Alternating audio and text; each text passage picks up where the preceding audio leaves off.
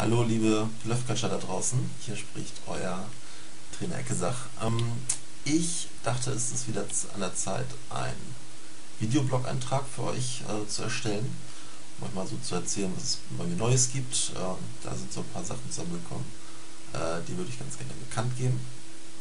Und ähm, ja, wie es an der Grindfront so läuft, ähm, was für äh, Tools ich entdeckt habe äh, für mich, die mir beim Grinden äh, gute Unterstützung geben und äh, äh, was so bei Intelli und bei Bluffcatcher so anliegt. Starten wir am besten mal. Ja, ähm, die größte Neuigkeit, äh, wo ich auch sehr, sehr stolz bin. Meine Freundin ist jetzt im äh, sechsten Monat schwanger. Äh, wir bekommen ein Kind. alles in Ordnung. Ein Junge wird's und der ist ja, schon sehr, sehr aktiv, äh, tritt, wo er nur kann und ähm, macht Spaß. Also äh, hier ist mir garantiert nicht langweilig.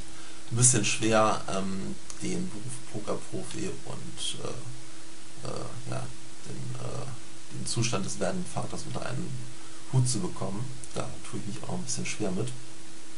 Aber es ist nicht unmöglich. Also ähm, ich hab, muss mir meine Zeit ein bisschen besser einteilen und äh, muss mich um Kara ein bisschen mehr kümmern, äh, macht aber auch Spaß. Also ich bin halt super stolz und ähm, das läuft halt alles ganz gut. Und ähm, ja, an dieser Stelle kann ich ja noch ganz kurz irgendwie für Kara, wenn sie das, äh, diesen Videoblog-Eintrag sieht, nochmal liebe Grüße äh, ausrichten. Äh, hab dich lieb. Ähm, ich bin sehr stolz, dass du das alles so packst, dass du das wegsteckst, ähm, auch wenn ich nicht immer für die Zeit habe, wenn das Grinden und der Computer da ein bisschen im Wege sind, ähm, dann hoffe ich mal, dass äh, äh, sich das auch legt mit der Zeit und äh, dass wir dann auch äh, eine nette kleine Familie dann demnächst sind. Gut. Also, ähm, soviel zum Privaten und jetzt zu dem Online- und Live-Grinden. Bei mir ist der Dezember und der Anfang des Januars ganz schlecht gelaufen. Also ich habe irgendwie ähm, Dezember relativ viel gegrindet und versucht, äh, den letzten Milestone noch zu bekommen. Also nicht die letzte, sondern irgendwie 400.000 VPP Milestone. Und habe dabei Federn gelassen. Habe viel gespielt und ähm, ähm, sicherlich viel Pech gehabt, aber auch äh, viele Tische gespielt und das hat meinem Spiel auch nicht gut getan.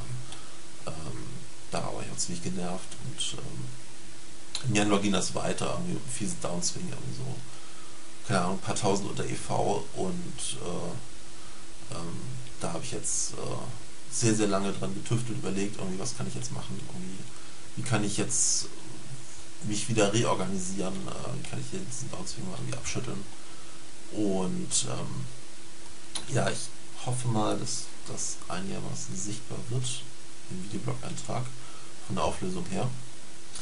Ich habe mich dazu entschlossen, für mich selber so einen Wochenzielplan zu erstellen. Also meine Freundin findet das gar nicht gut, dass ich irgendwie ständig irgendwie neue Pläne schmiede und sie dann irgendwie noch ein paar Wochen über den Haufen werfe, aber bei dem will ich das mal wirklich durchziehen. Ähm, die Idee ist wie folgt, ähm, so ein Excel-Sheet äh, mit ähm, paar Komponenten. Einmal ein Plan, äh, ein Volumenplan, was ich spielen möchte und habe hier äh, Nullmethoden 6max eingetragen, PLO 6max, äh, eine Session STT und eine Session Live Grind. Und äh, die äh, Sessions habe ich, die Online-Session ich, zwei Stunden festgelegt und die Live-Session auf, ja, keine Ahnung, sechs bis sieben Stunden wie man halt irgendwie so äh, seine Live-Cache-Game-Session Casino gestaltet. Und ähm, die Trainingskomponenten, Pokervideo dauert halt so lange wie ein Pokervideo äh, dauert. Äh, Arbeit im Forum habe ich auf eine halbe Stunde festgelegt und Arbeitsgruppe PLO, wenn es eine Session gibt in der Woche, das war ein bisschen schwer, die alle unter einen Hut zu bekommen, dann dauern die schon relativ lang, also zwei bis drei Stunden ja, Coaching Intelli, äh, da dauern die Intelli Live-Trainings auch so lange, wie sie halt dauern. Äh, Coaching möchte ich versuchen, zwei pro Woche abzuhalten. Ich habe momentan ähm, drei Schüler, die allerdings nicht jede Woche einmal äh, eine äh, Stunde nehmen. Äh, also es sind noch Kontingente frei. Äh, wer möchte, wer gecoacht werden möchte, der kann sich gerne bei mir melden. Und ja, Videos produzieren, Forenarbeit für äh, Bluffcatcher habe ich auch eingetragen. Und es ist halt so, dass am Sonntag äh, vor der kommenden Woche, äh, vor der nächsten Woche, äh, stelle ich mir diesen Plan und äh, dann grind ich halt durch, versuche halt diese einzelnen Komponenten immer dann abzuarbeiten, wenn es gerade passt. Also wenn ich mal eine halbe Stunde Zeit habe, dann mache ich ein bisschen Arbeit im Forum. Äh, wenn ich mal ein bisschen, wenn ich mal viel Zeit habe, dann mache ich eine Online-Session.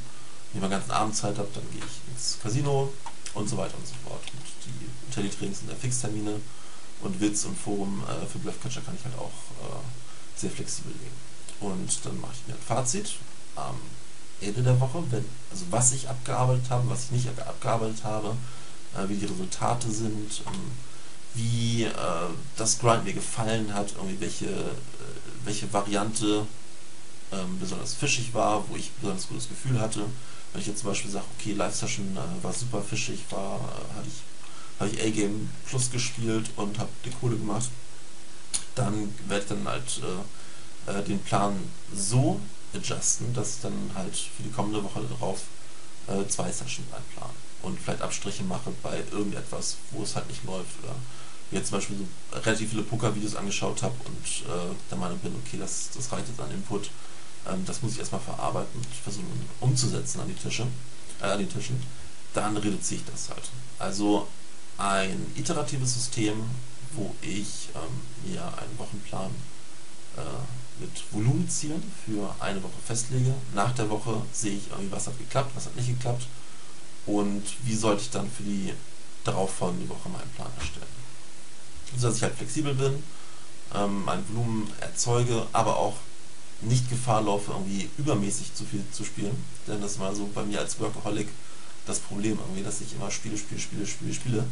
Und irgendwann leidet halt irgendwie die Beziehung runter und Kara sagt dann, nee, ich brauche mehr Kuscheleinheiten oder ich will, dass, dass, dass, du mir, dass, du das mit mir machst.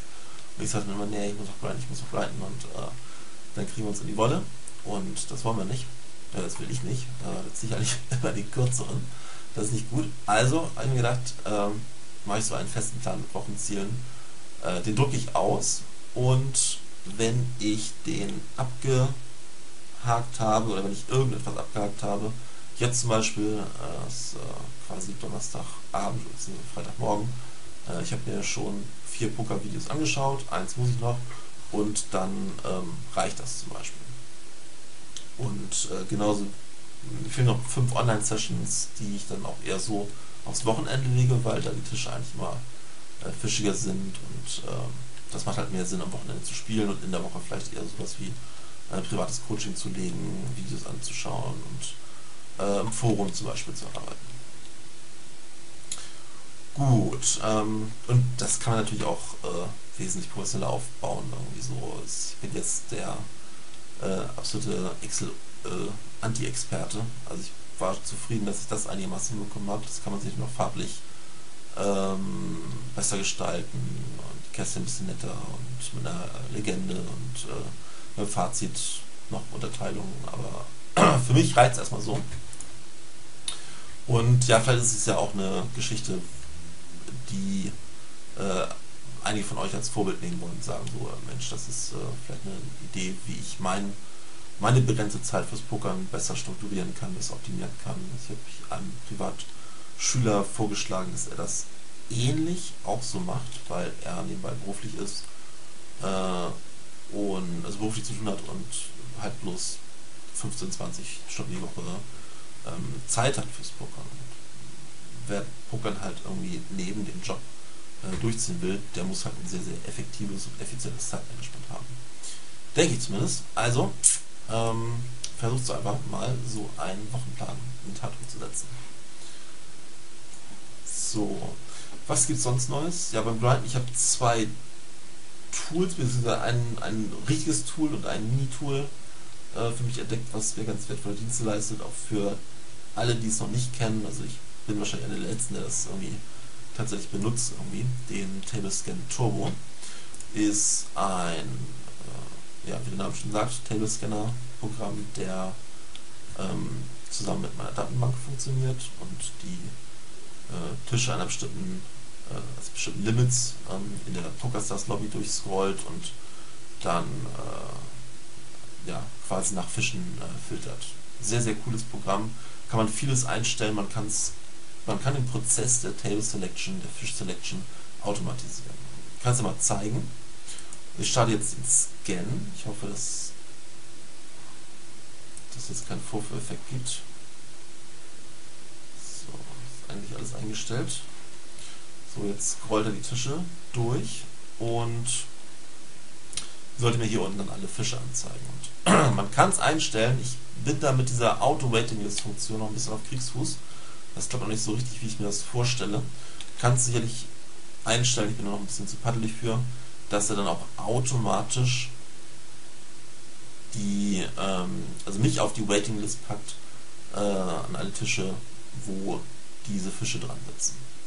Und was, was ich bisher immer mache, ist, dass ich mir halt irgendwie diese Fische raussuche, irgendwie nach VPIP-Filter und dann markiere ich alle und dann kann ich irgendwie auf äh, die Warteliste gehen und der packt mir, der packt mich halt automatisch jetzt hier drauf und ich stelle mit Table Ninja ein, wie viel Tisch ich haben möchte und ähm, dann poppt er mir die automatisch auf und ich kann entscheiden, okay, da habe ich jetzt Position auf dem Fisch, da gehe ich ran äh, oder da ist gerade der Fisch selber gebastelt, da gehe ich nicht ran. Also wie gesagt, ich bin wahrscheinlich einer der Letzten, der das Programm für sich entdeckt hat, aber es ist halt irgendwie super cool, es ist wesentlich schneller als der Tablescan auf dem Hold'em Manager und ähm, wesentlich effizienter weil ich ähm, entweder diese Auto-Waiting-List-Funktion benutzen kann oder ähm, ja, so wie ich es mache, halt irgendwie alle Spieler gleich, äh, also alle Spieler markieren hier die ich in der Fischliste habe und dann automatisch dann auf die Warteliste gepackt werden. So, das und dann habe ich mir so ein Mini-Programm zugelegt, um sämtliche Sachen zeitlich zu terminieren und zwar Jetzt poppen die ganzen Tische auf. Oh, Stars mal zu. Und zwar so ein äh, Countdown-Programm ist Freeware. Guck gerade nach, wie das Ding heißt. Das heißt, glaube ich, Free Countdown Timer. Genau, Free Countdown Timer. Und da kann ich einfach Countdown einstellen für eine Poker-Session, für Arbeit im Forum, für alles Mögliche. Und ähm, einfügen, das macht er so stundenweise. Ich kann hier aber auch irgendwie einen Silvester-Countdown kann ich auch mit reinpacken oder Countdown, was ich werde, zur, zum Stichtag der Geburt. Äh, das wäre vielleicht mal eine nette Idee, können wir machen. Ähm, oder klar, wenn ein wichtiger Geburtstag ist irgendwie, oder irgendein Ereignis, worauf man hinfiebern will, dann kann man sich den Countdown da zurechtbasteln und äh, irgendwie so arbeiten. Dann kann man auch verschiedene Töne dann nehmen und ich habe mir halt irgendwie so eine, so eine Flöten so eine japanische Flötenmusik dann genommen, die mich dann sehr sanft daran erinnert, dass ich doch äh, meine Grind-Session äh, beenden sollte. Und das ist äh, ja, sehr kleines, aber sehr nützliches Programm.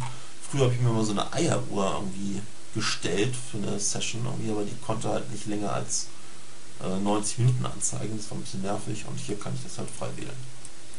Also Tablescanner Turbo und dieser Free Countdown Timer zwei kleine nette Gimmicks, die mir das Grinden etwas äh, ja, erleichtern. So, was habe ich noch auf meiner Agenda? Muss ich mal gucken. Äh, ja. Dazu habe ich was erzählt. Intelli, genau. Wir machen im Februar eine ganz coole Intelli ähm, Challenge und zwar Six Max vs Full Ring. Flix ähm, und ich hatten letztes Jahr Anfang letztes Jahr, glaube ich, so eine Session, wo wir so fix, also Six Max vs. Full Ring äh, ähm, gegeneinander angetreten sind und irgendwie so 100.000 Hände, wer die besseren Winnings hatte, irgendwie hat gewonnen und ah, das äh, war eine ganz coole Sache und jetzt haben wir uns überlegt, ähm, um die User ein bisschen zu animieren äh, ein bisschen Pep reinzubringen in den Laden, eine nette Promo äh, in Start zu rufen, äh, in, äh, ins Leben zu rufen, hatten wir die Idee, wir bilden jeweils Teams. Ein Full-Team, ein Team, ein Six-Max-Team und ähm, lassen also jeweils so ungefähr 20 Spieler grinden. die schicken uns dann nach einer Woche dann immer die Hand Histories zu und diese Hand Histories mergen wir in eine Datenbank äh, und unter einem Spieler-Alias und sehen dann halt, wie unsere Teams performen. Und äh, sollen wir dann halt irgendwie ein Resultat grafen der äh, Winnings oder der Losses äh, von allen Spielern in einem Spieler-Alias zusammen und ähm, so können wir halt immer ganz gut äh, protokollieren, wo welches Team steht. Und auch Handanalysen.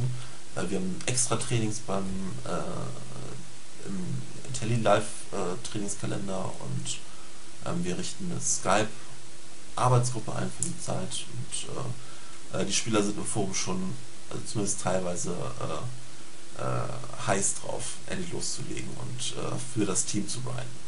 Also da bin ich wirklich gespannt, äh, wie es abläuft. Wenn ihr mitmachen wollt, ich glaube Stichtag haben wir gesagt, ist 1. oder 2.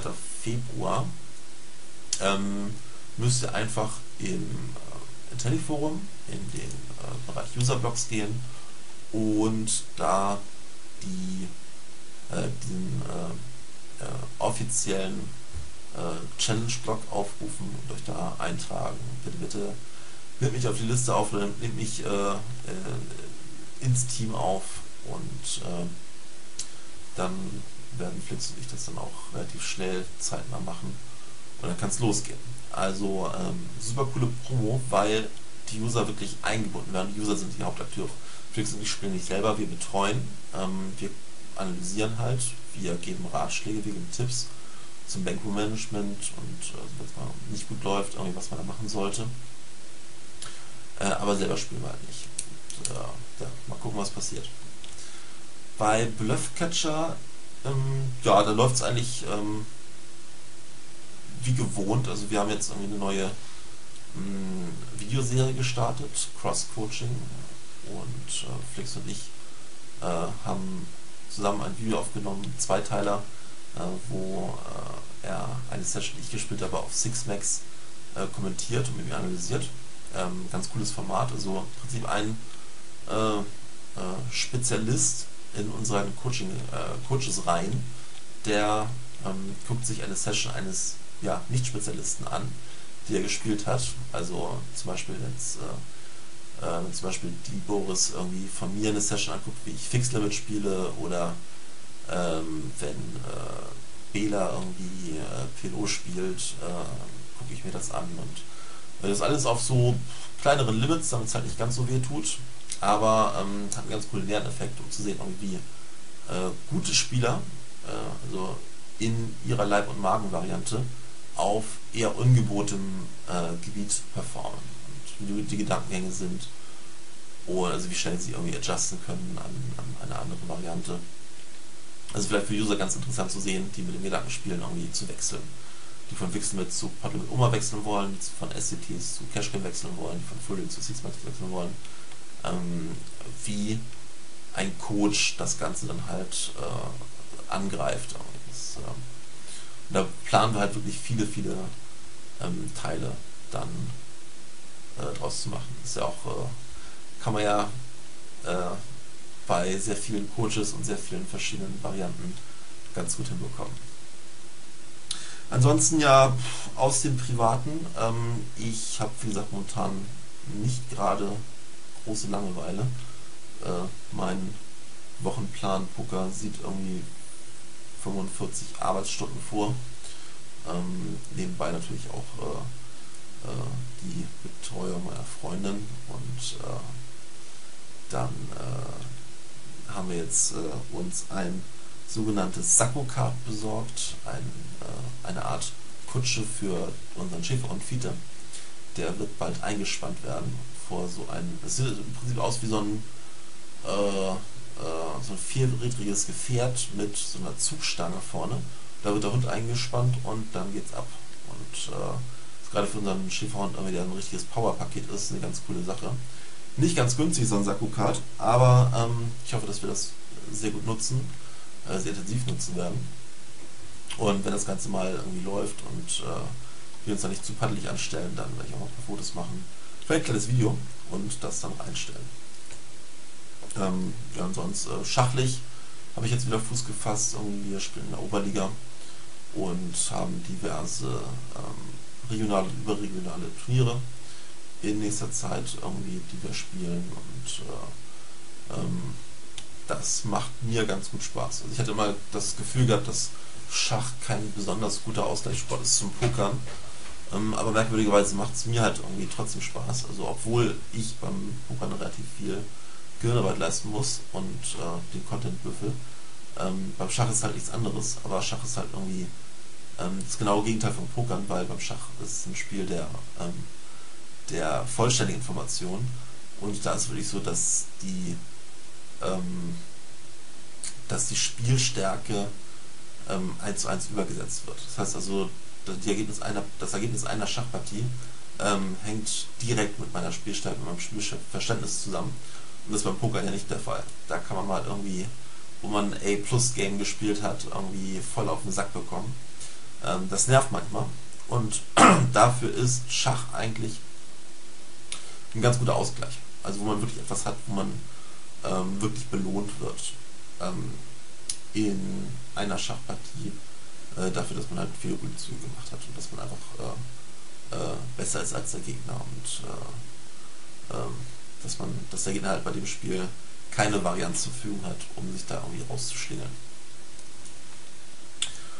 Gut, ja, so viel ähm, zu äh, meinem kleinen äh, ja, Rückblick oder meinem kleinen äh, Infoblog. Ähm, wenn noch irgendwas unklar ist, wenn ihr gerne noch irgendwas wissen wollt ähm, aus ja, über meinem Privatleben, aber, aber vielleicht irgendwie etwas über den Hundesport, den meine Freunde und ich machen, oder ähm, über äh, das Schachspielen oder über äh, ja, meinen persönlichen Grindplan, ähm, wenn ihr den Wochenplan als Download haben wollt. Ähm, also ich denke mal, dass irgendwie das jeder von euch das hinbekommt, den sich selber zu basteln und wahrscheinlich auch viel hübscher. Aber wenn ihr das trotzdem haben wollt als Vorlage, dann kann ich ihn euch gerne am Forum zur Verfügung stellen. Ansonsten äh, wünsche ich euch noch viel Spaß bei Bluffcatcher und äh, ja, besorgt euch einen Premium-Account, wenn ihr ihn noch nicht habt. Äh, werden ein paar nette neue Videos reinkommen in nächster Zeit. Und ja, seid aktiv im Forum. Das äh, schätzen ja viele Leute, das Forum als ähm, gute Möglichkeit, an Spielstärke dazu zu gewinnen, indem man über Hände diskutiert, indem man ein paar, paar Poker-Buddies irgendwie findet, Arbeitsgruppe irgendwie äh, aufstellt, ähm, oder generell ein paar Tipps und Tricks austauscht. Also so ein Forum kostet halt nichts und äh, ähm, kann euch wirklich weiterhelfen. Also so viel zu mir und ähm, meinem Leben äh, am Pokertisch und fernab der Pokertische. Ähm, macht's gut, das war Ecke für www.bluffcatcher.de.